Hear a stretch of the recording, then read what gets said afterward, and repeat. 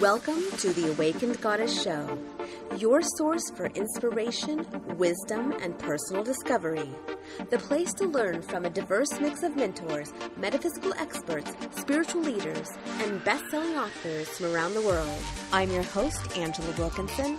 Join me as I explore the minds of my masterful guests while they share powerful insights and easy to use tools you can start using right away. Now, let's tap into the energy of the awakened goddess and be enlightened by today's guest. Well, hello and welcome to this week's episode of the Awakened Goddess Show, where we co-create powerful, conscious conversations on the leading edge. And today I have returning guest Alexis Pierce, and I'm so excited for, for, today. I'm now I'm not even my words are like not coming out of my mouth. but today is like the 200th episode, and woohoo! oh my gosh! Wow, I cannot believe it. After what four years? Let's see, 2014, whatever that is. It's been a long journey, and so. you know, I think this is the perfect conversation that we're going to have today because, um, quite honestly, when you and I talked, Alexis, um, this was, well, let me just say, if you have not watched this episode, uh, it was episode 107, and we talked about money shame. And for me, that was, I think, a big catalyst, a huge turning point for me because you and I, we really dove into this conversation and had a really revealing conversation about, you know, our personal journey with money. So that's a long introduction. So welcome. Thank you. And congratulations on your 200th episode. I'm so excited I get to celebrate it with you here. Yes. Thank you. Thank you. Um, yeah. So I just want to dive in because money shame and shame in general is, um, it's a huge topic, and I think that uh, uh, so many of us take on this this this whole thing about shame and we make it about ourselves and we we tell ourselves stories about ourselves and we um, really try to keep that in the shadow like we have things about ourselves whether it's money our our relationships our bodies um, that we feel not so great about. And so we try to hide that. And, um, you know, I know you work a lot with shame. And yeah. uh, so anytime we're, we're teaching something, clearly we have gone through it ourselves. so let's kind of rewind and um, talk about the last episode, the last conversation we had, uh, because well, I'll let you tell this story. well, I actually had forgotten this story until I rewatched the episode. And Angela and I connected because I had made a post in a in a private group that we're both jointly in that has a couple thousand people nowadays. Yeah. Um, and I had made a post back in 2016 that said I have something like you know 84 cents in my bank account or whatever it was, and less than a dollar. Yeah, it was less than a dollar, and I was so fed up of feeling like that was a secret that I needed to be ashamed of. And I was, and I didn't go back and read the post, but just hearing the conversation. And I remember that feeling like I'm, I'm tired of feeling like this number defines who I am. I'm tired of feeling like people see me one way. And so I have to show up wearing the mask of how they see me when my reality feels very different. Mm-hmm. And I'm tired of feeling like this means that I'm failing when it's really just a snapshot of a number in time. It doesn't mean that I wouldn't have more money before or more money after, but I was just so fed up of being upset with myself and all the weight that I let that number carry for me. And so I just posted it. I just posted it in a group and I was like, I just want to be seen in this, in this reality, in this moment. And so you and I connected and we had the conversation. It was, and it was funny. Our conversation was two weeks later and my financial reality, or maybe it was a month later, but it was very different. Mm-hmm. Um, but I was still always going back to that zero point, always going back to that zero place, which keeps bringing up thoughts, right? It keeps bringing up thoughts of what's wrong with me? Why can't I ever get out of this? Why don't I know how to do this? But you know, and the amount doesn't matter because for you, it could be thousands of dollars to thousands in debt. Like, but we swing, right. we swing. And that's one of, I think, I'm learning the hallmarks of shame is this swinging from I'm on top of the world to I'm the worst and back and forth. Yeah, isn't that the truth? And and uh, it, I think it's a um, it's a huge journey that we have to go through. That is that can be very painful. And when we had that conversation, um, I was talking, I was sharing things that I'd never shared about publicly, and um, I it, and it was interesting because before I had we had that conversation, there was a part of me that knew that I really needed to step into the light and share that. Mm. And that was going to r- relieve me from the burden I had been carrying. And it's so, it was so true because, you know, I taught, I shared about um, making a purchase. I was, I had bought a rental property at the top of the market when, you know, all hell broke loose. And, uh, I ended up going through two foreclosures on my house and on my on my rental property and then thus I had to file bankruptcy. And so when I had to go through that process, I remember feeling so ashamed and and and feeling like the world was crashing down around me and how could I how could I get myself in that position and you know, and then, you know, the, the flood of the stories and the conversation of, you know, what I learned as a child and, and what these things meant. And so, you know, I was just beating myself up about this yeah. whole thing. And then once we had that conversation, and I thank you so much for, you know, uh, us sharing that space and being able to have that conversation because it was such a turning point for me. And after we had that conversation, it really uh, it released, it unlocked that piece for me. Yeah. Oh, that's huge. when you know, it's funny because as you were talking, I was thinking, of course, of course, I see this in so many other areas of my life. I remember it's probably four or five years ago now. It was the day after Thanksgiving, and I was coming into the yoga studio, and one of my yoga clients said, "Oh, how was your Thanksgiving?" And I looked at her straight in the face and I said, "I sat alone in the kitchen and cried." because that's what I did that particular yeah. Thanksgiving. And I, I felt fine. It was my choice. I could have gone to family and friends. I chose to sit at home and just watch TV and cry. And she looks at me, not even a thought about me. She looks at me and goes, Oh, thank God, because everybody said that I should take yoga because it would help me feel better. And it hasn't yet, but you're human too.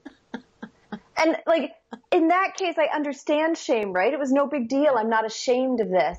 But when it comes to whatever it is for you. For me, it was money. For you, it was money. We had this money. And so we're afraid to talk. We're afraid to open up our mouths about it and connect with people. And it's so isolating. Mm-hmm. And then on top of that, we seem to have made internal assessments that I'm a good person if it's this way and I'm a bad person if it's this way. So guess what? All of a sudden things go this way and now we're like, wait, does this mean I'm a bad person? Now pile on more shame. Right. and then and then we just we're afraid to even connect with anybody because maybe I'm not worthy of connecting with.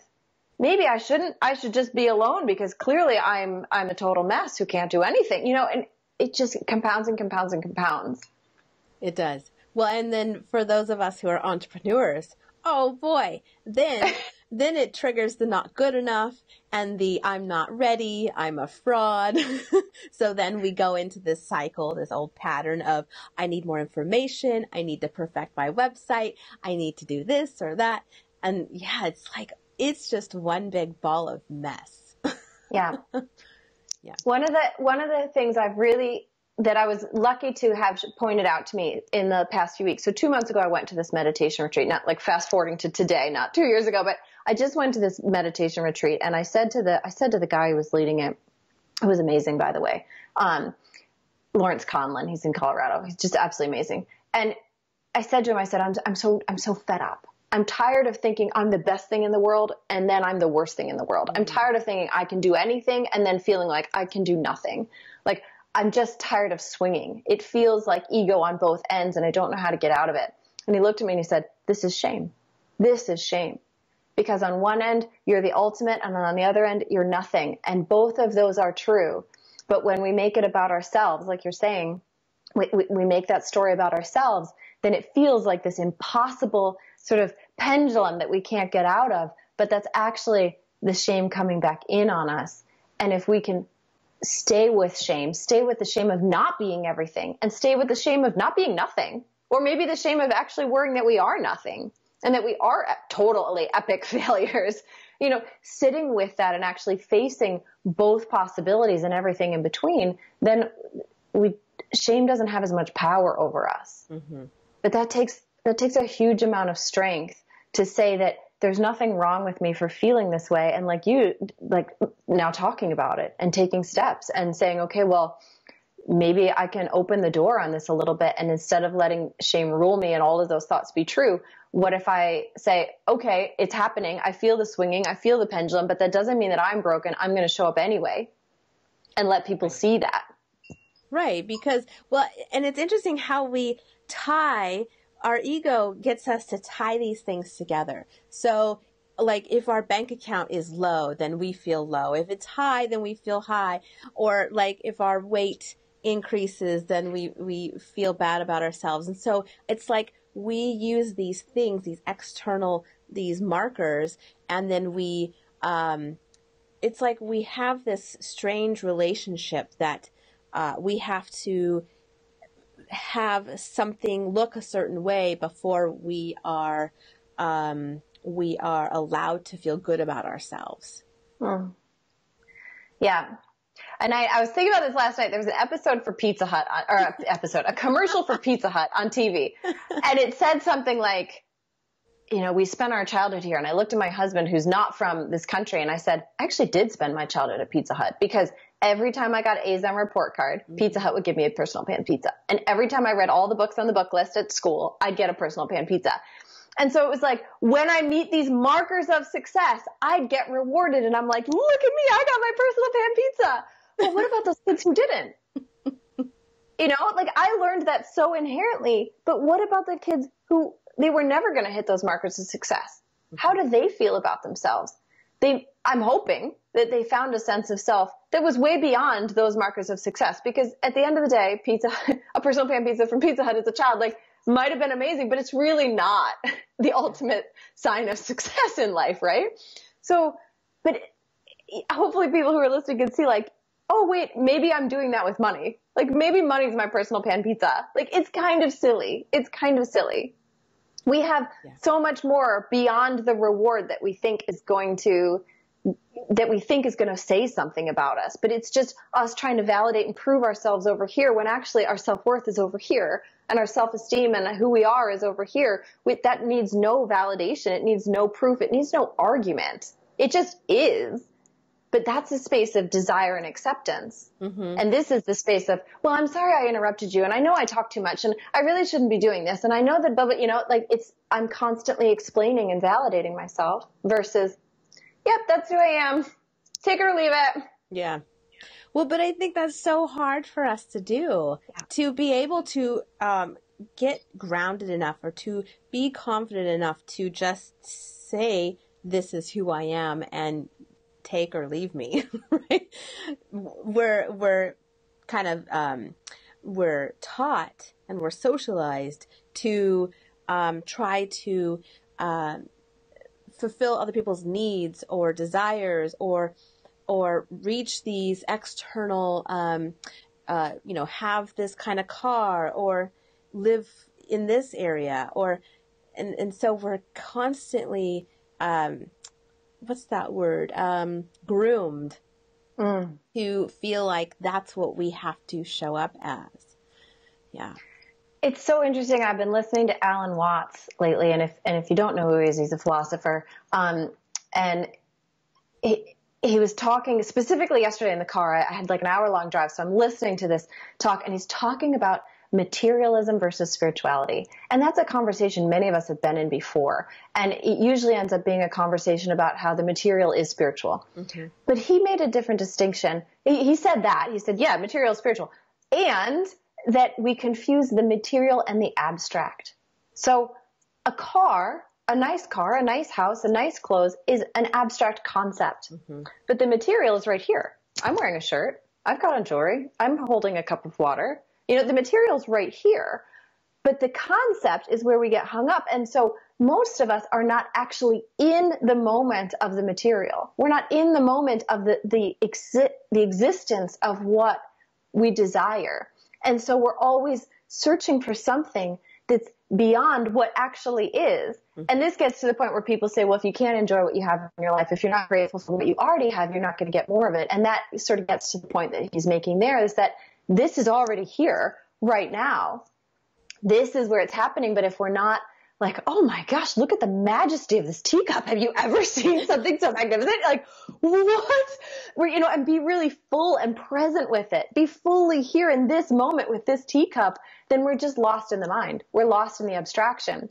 And the miracle of life, the spiritual nature of life that we feel that sort of miraculous sense of wow in is right here, right now. Mm-hmm. We just think we're going to have it when we have the car, but that's, that's a thought it's not real. No, and they've even shown, I, I don't know off the top of my head what the dollar amount is, but they've done some research around uh, how much income we make. And they found that there was a certain level of income that once we surpassed that, it didn't give us any more fulfillment. And I thought that was really, really fascinating because it wasn't that much money. And yeah. So yeah, you're right. It's like we have this this concept or this perception that we're that we have in our head that we're trying to fulfill. And I think that it's kind of like the donkey and the carrot. You know, every time the, the donkey steps forward, the carrot steps forward. Same thing with um, when we're looking at life through a material lens and, and trying to fulfill these egoic desires as we're always chasing, and that will never end because it always there's always going to be the next thing that we're trying to get to. Yeah. Yeah. And I think it's what I'm playing with right now is how dare I believe that I get to say how it's going to be? like, how dare I shift, like, shift the powers of the world, like you did on your London trip, where you're in between places and you're like, well, still here, still doing it. So I guess it's going to have to show up. You know, how dare we? How dare we think that we can influence the aspects of nature that seem beyond our influence, like money, like body weight, like relationship dynamics, like love as a concept, because love's a concept too, just like money, right? Like, how dare we think we get to say how it goes? And I've been really playing with this and I see it. My, I'll, I'll share a story about my nephew. Probably shouldn't, but I'll share the story. this kid, this kid is just, he's like, this is how it's going to be. This is how it's going to be. I'm gonna, I'm gonna, at 16 or 17, he's like, I'm gonna join this company and redo all of their hiring processes and make them a couple million dollars. Oh, no. And I'm like, you're 16, you know nothing about business. And then he did it. and I'm like, what? So then he gets into business school, of course. And then he's like, you know what? I'm gonna model because I like modeling. I think I'm great at it. This kid takes two hours on the bus to get to a mark eh, modeling because he's in the car. Two hours to get to this shoot, and then three hours on the bus to get over here, and that's one way. Three hours back, and he just does it because he's like, yeah, I'm going to be a model. I'm going to be great at it. Mm-hmm. And I can see all the adults in his life, right? Because I've got the adults pregnant. We're all like, is he really good at that? Does he really think he can succeed at that? And I'm not sure if he should really, is this the best way to be spending his time? And no, is anybody going to tell him that maybe that's not really a good investment? And he's like, I'm sorry, I'm making my world. Yeah. Right? And so none of us even dare to do it because we're all sitting here going, we don't believe you. And then we're like, because is he doing it? Because if he can do it, what does that mean about what we've been doing? Mm-hmm. And I think this, for so many women in particular, this concept that we get to say, and now this is how it is. And now this is who I am. Mm-hmm. That, that's so terrifying because it's not necessarily what we're, like you said, groomed to do. And yet it's possible. Like it's, it's really about that level of love for self and I think I talked in, in episode 107 about this, like I was using my business to try to prove something about me. Yes. And so I was like, well, if my business does great work and then it makes money, well, then I'm a worthwhile person. I was like, oh, and I saw during, you know, before our call last time, like, wow, what a horrible thing to do to my business. But I was basically like, I'm sorry, could you do, could you work harder? Could you prove something more? I really need you to give me this and give me this and give me this. And the business was like, I'm trying. Why don't you love me? You know, like this horrible space. And I've realized in the last, you know, six months, eight months, like it's the opposite. It's saying, this is what I do. This is what I do in the world. Take it or leave it life. But I'm going to be great at it and I'm going to be, you know, duly rewarded for it. So just get on board. And that feels scary, but it's the energy of this is me and I accept myself. Mm-hmm. Well, and it's interesting because it's like there's this whole thing where everybody's looking for their purpose, right? Everybody's, yeah. Everybody's searching and, and it, it's like we feel like we want to just uh, have the flag that we can pop in the ground and say, I found it, here I am. But it, it doesn't work that way, does it? well, I'm, i have a slightly different view on purpose. So all those people you should call me. because um, I actually do believe we can find our. I, I, have a system that I use to get really clear on your purpose. Um, but what I've noticed, because I've worked with people now for five years on purpose, is that what people actually mean when they say I want my purpose is I want meaning in my life and to feel like I have meaning. Yeah. And that's a very different thing. It's a very different conversation. And so we'll go through this whole process of saying, well, here's your purpose. Are you happy now that you have it? And they're like, no, because now I don't know how to create meaning or what to do with it or what that means about how I'm supposed to show up every day. I'm like, well, that's a different, that's a different question. But the purpose is who you are. It's who you are when you walk in the room. It's who you are when you walked into life. It's, you know, it's who you'll be before a job and after jobs. Like it's, it's so unrelated to doing, it's being. And that level of acceptance of, yeah, this is who I am. This is what I'm being. And my beingness has value in the world because I said it does because I value my own beingness is really what it boils down to. It doesn't have to have value to anybody else because it just is. Mm-hmm. And you can value it. But then there's the question of, well, how do I feel meaningful? And that's about how we take our beingness and love it and beingness and be compassionate with it and beingness and connect with other people. But we, when we connect with other people from a space of, can you validate me? Then we're not in a space of being. It's like our cup is empty. And so we're like, please come in. And then empaths get in a lot of trouble because they're looking for validation, but then they're like, no, I don't want your thoughts and, you know, energy. And so then we're in this constant struggle of there's the pendulum swing. No, but I'm everything and I don't really want to take on your stuff too. Yeah, but could you please validate me because I'm nothing? and so we get trapped in this cycle and it's like, oh, come on, let me out of it. Like, let me out of the ride. Mm-hmm. Um, but we fill ourselves up. We have to fill ourselves so fully that it's coming out from us. I think of it like a bubble. If I fill my bubble so fully, not a protective bubble, but just a bubble of what I believe, a bubble of how I've decided to be in the world, a bubble of what I think is how the world's going to be. My bubble's not going to have violence. Sorry. My bubble's not going to have insecurity. Too bad. you know, is that, is that completely unattached from reality? Sure, but it's my reality. Right. And so when I create that bubble, guess what's going to happen? People want to hang out in it people want to be around that bubble because they're like, oh, it feels better around you. I don't know why. I just feel better around you. Mm-hmm. Mm-hmm. And they can feed off that. They can wade in it. They can leave it and go to somebody else's bubble. That's none of my business. It's just none of my business. My business is to keep my bubble filled with my own sense of self and belief. And that's really hard to do when the cup's empty and we're trying to take in validation. Yeah. Mm. It's the same with money. It's the same with money. It is. It is. So it's like once you unravel one, it it feels to me like um, once I was un- once I was able to unravel that money thing, the money shame, that I was kind of I was really freed up in all areas of my life, mm. which was nice really nice. So you have an exercise that uh, you want to walk us through, or I mean, not walk us through, but you have something that uh, we can use in our lives. So is this a good time or? To talk um, sure. Let me think of one.